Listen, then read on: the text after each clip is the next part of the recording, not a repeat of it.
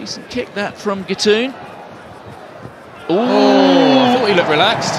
And he took a bit of a divot there out on the white line. I thought he looked a bit relaxed. Okay? Quickly They're off. taken, here's Francois Cros, the offload, and Arnold gets a try. Brilliant. His first try for Toulouse, Go now, not good. and frankly, that was hapless from Montpellier. It really was. I mean, it's just it's a bit of bad luck for Goosen, isn't it? But he did. He was jogging back to defend that ball and presumably clear his lines. All He was very, very relaxed. Cheers. We can't put it down to anything other than bad luck. I mean, it's No. just dodgy What bit of happened pitch. back there, the last one? But The guy was on the ground. he almost gifts the without ball tackle, to so then no Yeah. See, that's poor. Keep hold of the ball. At least drop it on the floor. Make somebody come and get it.